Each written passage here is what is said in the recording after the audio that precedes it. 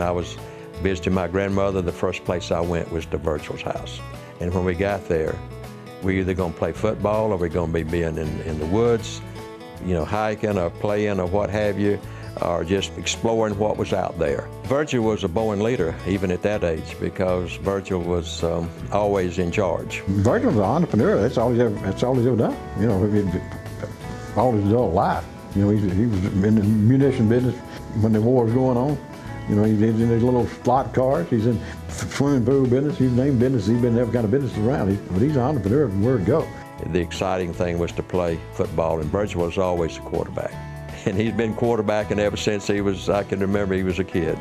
Whenever he first bought Gwinnett County Bank and decided he wanted to enlarge, he changed the name to Heritage Bank so it wouldn't be such a geographical name. He built 14 branches. And when he did, he opened up a company called Monolith Construction Company to build his banks. That way, by building his own banks, he kept his money in his pocket. He shortly after that opened up Monolith Cabinet Company to decorate the banks, part of his entrepreneurship, just where he always knew how to do the right thing. He's one of the first guys that worked on his nuclear plants, one of the top three licensed to work inside of a uh, nuclear reactor and that kind of stuff. And he worked on uh, paper mills and power plants.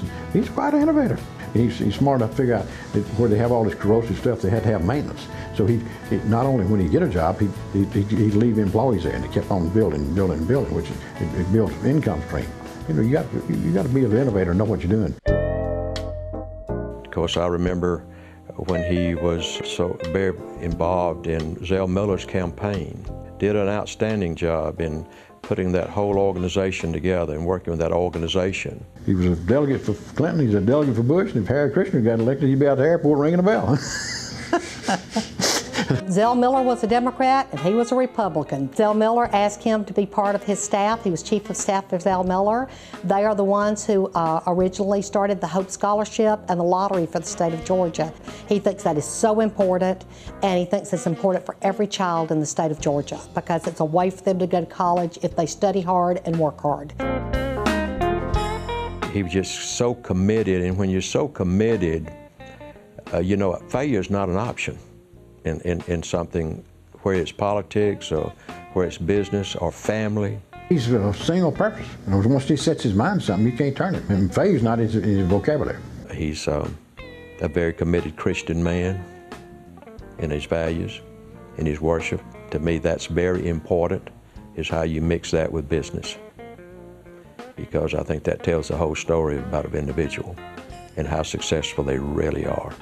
You know, he lost his father when he was very, very young. His dad was very young whenever he passed away, and he lost his mother just a few years after that. So family is important to him, and it's great to have a professional career.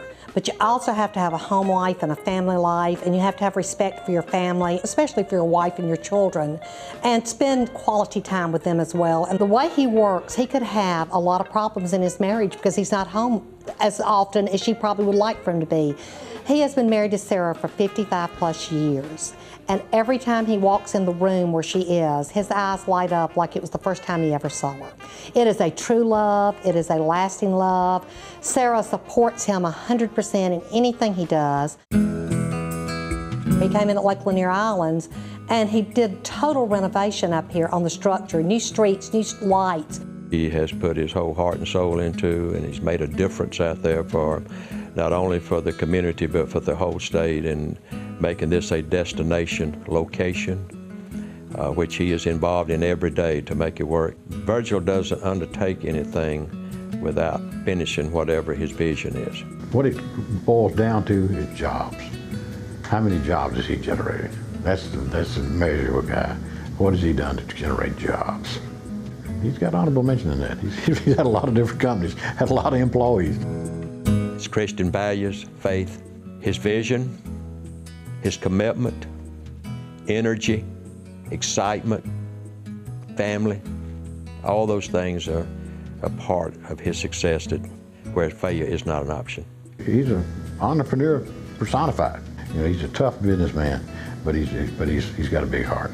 I believe the young people of today, and especially those involved in junior achievement, can learn so much from a man like Virgil Williams. I tell him sometimes if he ever gets sick, he probably has a headache because his brain is too big.